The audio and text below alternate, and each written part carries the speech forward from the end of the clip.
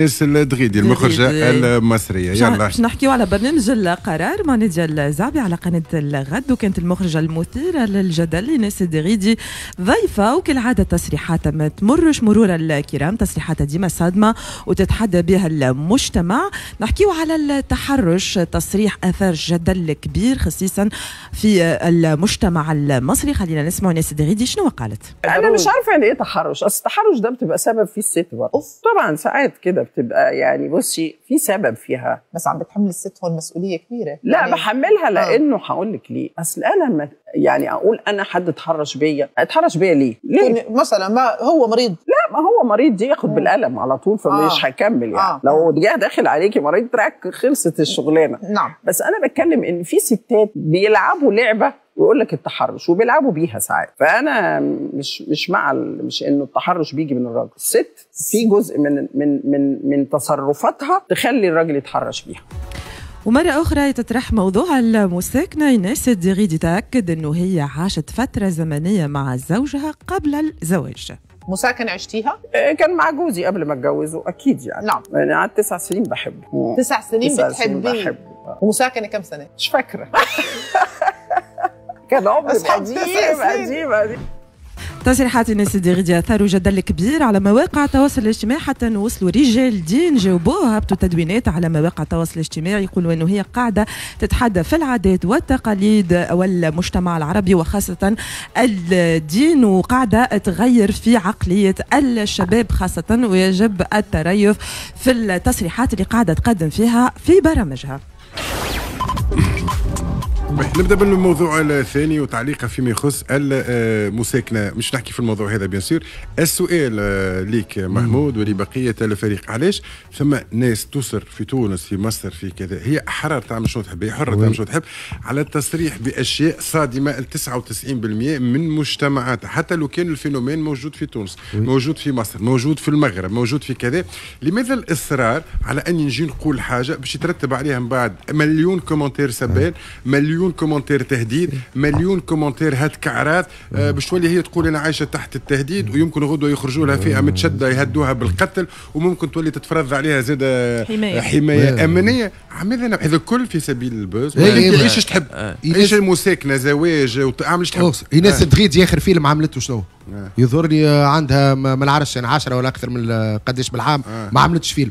donc اليوم وراهم راهو. ترجع باش ترجع عادي معناتها وريني حتى في تونس راهو. ساعات تلقى منتج ولا فنان ولا مسرحي ولا واحد. باش يحير اسمه باش يحير اسمه يجي يحكي يحكي كيما حتى باش يجيب له سب. ما يهموش هو يقول لك c'est le bad buzz. ولكن c'est un buzz في الآخر. le bad buzz العباد اسمك يدور نحكيو عليها هي مصرية ونحكيو عليها في بلاتو اليوم في تونس. donc الإشكال اليوم إنه كان تحمل القناعات هذيك ما يجادلك فيها حتى حد دافع. معناتها احملها القناعات هذيك. ولكن إنك تخرج باش تستفز جزء كبير. كيما مثلا فما عباد توها وسامحني فما عباد ما تحب تحكي في مواضيع اللي نعرفوا تستفز أقلية مثلا نحن. وبالرغم من هذا إنه تستفز الأقلية ما نحاولوا on l'évite ما نحكيوش فيها باش ما نستفزوش حتى الأقلية. هي لا يزي ما تخصش أقلية الموضوع هذا ولكن تخص أغلبية وتحاول تستفز الأغلبية هذه بطريقة اللي يخليني يقول قاعدة. هذه اللي يقول لك يجيب السب روحه معاه et voilà يجيب السب أنا ما نفهمش هالمنطق هذايا نتاع اني حتى باش نظهر باش نرجعوا يحكيوا عليا. نقول كلام نتسب عليه تتسب أمي تسب بابا تسب بنتي تسب ولدي. معناها هذا كل في أني نظهر. برنس. ويليام شكسبير جاوبها وقت اللي هو ويليام شكسبير قبلها ب ألف سنة. اش قال لها؟ قال لك الناس هذوما يلزمهم تتجاهلوهم. لأنه اش قال؟ قال التجاهل أفضل رد فعل تجاه أشخاص لا ينفع معهم الكلام. هذايا تو حديثنا قياس إحنا ما حبيش نرجع نقول للجماعه هذايا المرأة هذه حديثنا آه، قياس معاه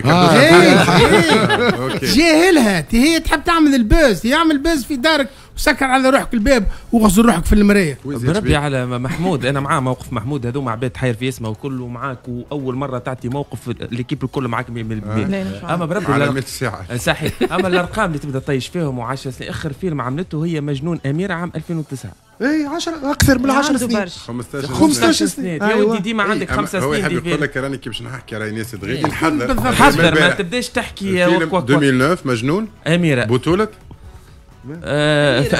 آه، فهمي ح- فهمي فهمي مروان هذول فهمي مروان والمراه اللي معاه؟ آه، الناس دغيدي ولا؟